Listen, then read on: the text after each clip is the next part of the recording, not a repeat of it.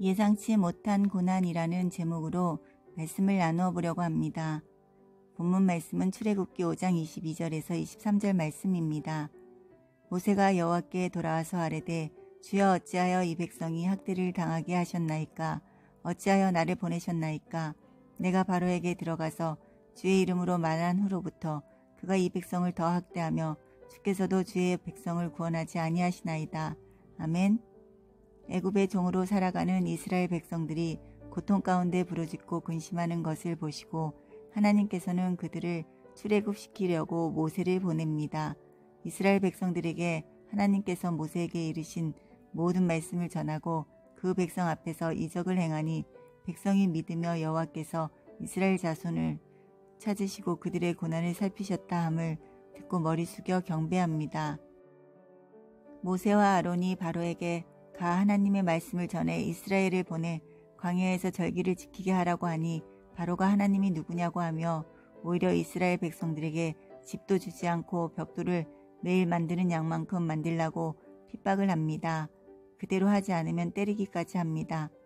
바로를 찾아가 말을 해도 양을 감해주지 않아 화가 몸에 미친 것을 알고 이스라엘 백성이 모세와 아론을 보고 너희가 우리를 바로의 눈과 그의 신하의 눈에 미운 것이 되게 하고 그들의 손에 칼을 주어 우리를 죽이게 하는도다. 여호와는 너희를 살피시고 판단하시기를 원하노라. 하나님의 말씀대로 행하였음에도 바로는 오히려 더 강팍해지고 이스라엘 백성을 핍박하고 이스라엘 백성들은 모세와 아론을 원망하게 됩니다. 모세와 우리가 생각할 때는 하나님의 말씀대로 순종했기에 모든 것이 금방 이루어질 것 같으나 오랜 시간이 걸려 힘들고 고통스러울 때가 있습니다. 이런 상황에 빠지게 되면 뭐가 잘못됐는지 생각하고 고민도 하게 됩니다. 우리도 지금까지의 삶을 통해 주님의 말씀에 순종해도 더 큰 고난이 오는 것을 경험해 보셨을 것입니다. 모세는 이 문제를 가지고 주님 앞에 나갔습니다.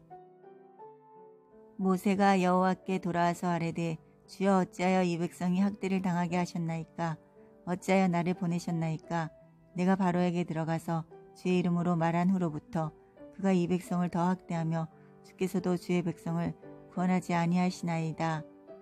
여호와께서 모세에게 이르시되 이제 내가 바로에게 하는 일을 내가 보리라. 강한 손으로 말미암아 바로가 그들을 보내리라. 강한 손으로 말미암아 바로가 그들을 그의 땅에서 쫓아내리라. 그 이후 이스라엘 백성이 출애굽을 바로 했나요? 아니죠.